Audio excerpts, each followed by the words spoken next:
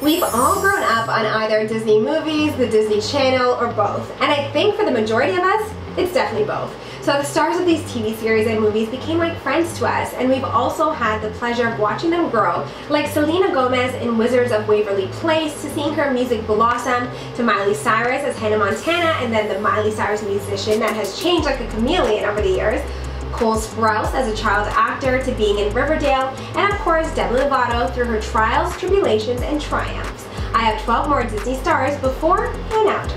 Keep watching. Hey guys, welcome back to my channel. I'm Azalea Hart. Which Disney star do you sometimes just sit back and say, hey, I wonder what they're up to now? Comment down below, let me know. Maybe they're on this list and you're about to find out exactly what they've been up to lately. First, I gotta apologize because my microphone is broken, so you're gonna be hearing a little bit of background noise, but I promise this video is worth it. If it's your first time here, please subscribe and turn on the bell notifications so you never miss when I upload a new video. You can also follow me on Instagram at Azalea Zoe. Let's get into it, starting with one of the most successful Disney stars, the gorgeous Zendaya. Now, you would know Zendaya as her character Rocky Blue in Shake It Up from 2010 to 2013, but she also starred in the 2012 Disney Channel original movie, Frenemies.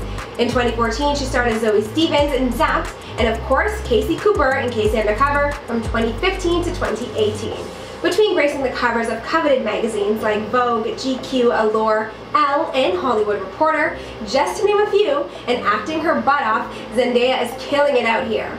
She recently was awarded the honor of being nominated for an Emmy for her hit HBO show, Euphoria. Production on the second season was forced to shut down on March 16th, but the girl still wanted to work. So she recently just finished shooting a secret new film titled Malcolm and Marie that she teased on her Instagram with this steamy photo.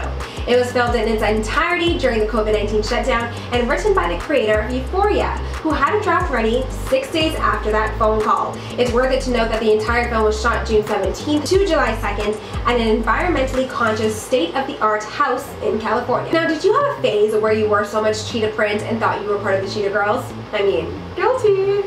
Adrienne Bailon was one of the Cheetah Girls, but you may recognize her now as one of the co-hosts on the daytime talk show, The Real. She also has a popular YouTube channel called All Things Adrienne with a million subscribers. It's her sharing everything about her life from makeup to fashion, home decor, entertaining tips, crazy family stories, and so much more, which she posts weekly. Shia LaBeouf was the little brother that none of us wanted, and even Stevens. After a major acting hiatus, he will be back on our big screens in a movie titled The Tax Collector, which I, for one, am looking forward to seeing. Now, the movie does have a lot of controversy swirling around it right now, Colin Shia's character racist and accusing the movie's director, David Ayer, of brown facing for even casting Shia in the role to play a Hispanic man. Fun fact though, Shia got his entire chest tattooed for the movie. Like, I'm talking a real tattoo. Talk about being devoted to a role. Hilary Duff, possibly the most normal of all of the OG Disney girls. She, of course, was the star of Lizzie McGuire. Production had started early 2020, but just like everything else in the world, was put on hold due to COVID. She told Cosmo that they went back to the drawing board of Disney Plus, Disney and herself to come up with something that would work for them all. But they're still in the middle of that process, but they are talking weekly to get production up and running as soon as it's safe to do so so it's still a work in progress. Now we were first introduced to Skai Jackson as Zuri Ross in the Disney Channel sitcom Jessie. Most recently, the star had a very public feud with the Catch Me Outside girl, Danielle Bregoli. Skai even got a restraining order against her. It all started when Skai commented on a photo of Danielle's ex-boyfriend, NBA Youngboy, saying, Can somebody hook me up with YB? Just so fine to me. Lord. And Danielle responded on her Instagram story calling Skai a Disney thought. Their moms even got involved and Danielle threatened to kill Skai on an IG Live. Skai Jackson never publicly responded to any of Danielle's posts, but she did post a tweet referencing all her current wins, which is the classic thing to do. So here's what she's up to now. New book, finalizing a makeup deal, TED Talk speech, recording a Netflix animated series, vlogging for her YouTube channel, and hosting We Day, which is also under fire currently, so she probably won't be promoting that anymore. And she ended her tweet with, no time for negatives. Emily Osment played Lily on Hannah Montana. Recently, she shared a post on Instagram with one of her favorite photos from the show. It's just a simple photo of Miley and Emily in casual clothing standing on the empty set, looking at each other bashfully. She put in her caption, I have no idea who took it or why the Great Room set is empty on a tape night, but I have a physical copy of it from a disposable camera and now it's on the internet. She continued on saying, I spent a couple hundred Friday nights here instead of all the places a normal teenager should have been, and it made me an adult faster than I could prepare myself for. However, I am grateful to have been handed a sense of accountability and purpose at such a young age because I still have it and then some. In 2018, Emily tweeted out that it breaks her heart to tell her fans that in addition to Freeform not giving their young and hungry audience the ending their show deserved, they also decided to not go forward with a full-length film. The show premiered in 2014 and lasted five seasons before it was cancelled, and their season finale ended up becoming the series finale.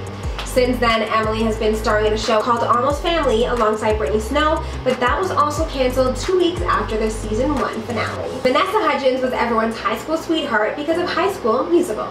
Most recently, Vanessa was under fire when she went on an Instagram live and made some insensitive comments about quarantine.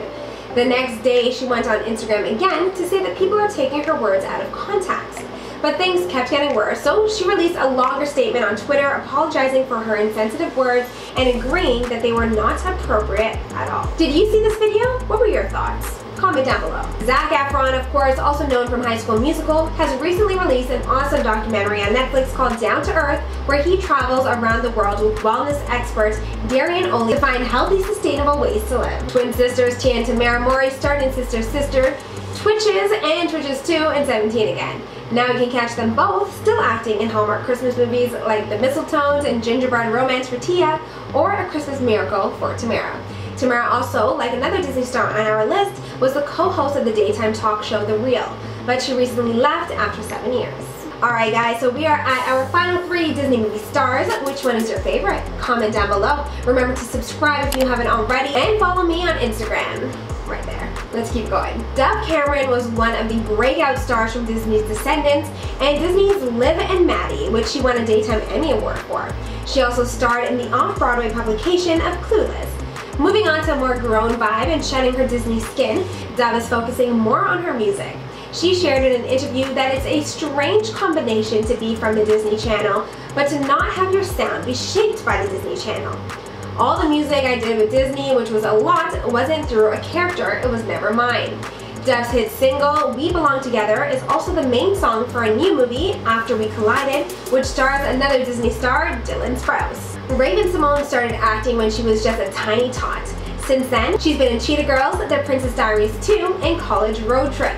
And of course, That's So Raven as a teen, and then the reboot as an adult.